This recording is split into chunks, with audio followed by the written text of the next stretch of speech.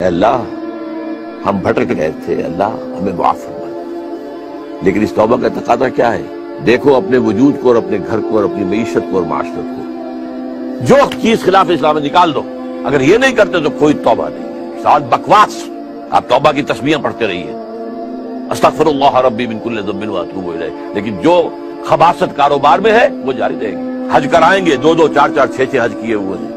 لیکن جیسے جاتے ویسے ہی واپس آتے ہیں۔ جو سودی کاروبار کرتے ہوئے گئے تھے، آتے ہی فوراً دوبارہ اس کو شروع کر دیا یہ توبہ نہیں توبہ یہ ہے کہ اپنی ذات، اپنے گھر۔ گھر پہ تو آگے اختیار ہے نا۔ اگر نہیں تو ڈوب مرو۔ اگر اپنے گھر پر بھی، اجی، عورتیں نہیں مانتی، تم مر جاؤ۔ حضور کے الفاظ دہرا رہا ہوں یہ۔ جب تمہارے معاملات، تمہاری عورتوں کے حوالے ہو جائیں گے بطل الارض خیر لکم من تو زمین کا پیٹ تمہارے لیے بہتر ہوگا کہ تم دفن ہو جاؤ اس میں، اس کی پیٹھ کی بجائے۔ کہ پیٹھ کے اوپر چلو، پھرو، اس کی بجائے زمین کے پیٹ میں دفن ہو جانا بھی۔ پاکستان میں تو ابھی تک کوئی اتاترک پیدا نہیں ہوا جس نے برقع جو ہے زبردستی اتروایا ہو۔ جنہوں نے اتارا، خود اتارا۔ بھائی، چار پیسے ہو گئے۔ چار پیسے ہو گئے تو عورت کا پردہ ختم ہو گیا۔ پہلے برقع اترا، چادر آئی۔ چادر بھی پھر اوڑھنے کی شکل میں رہ گئی۔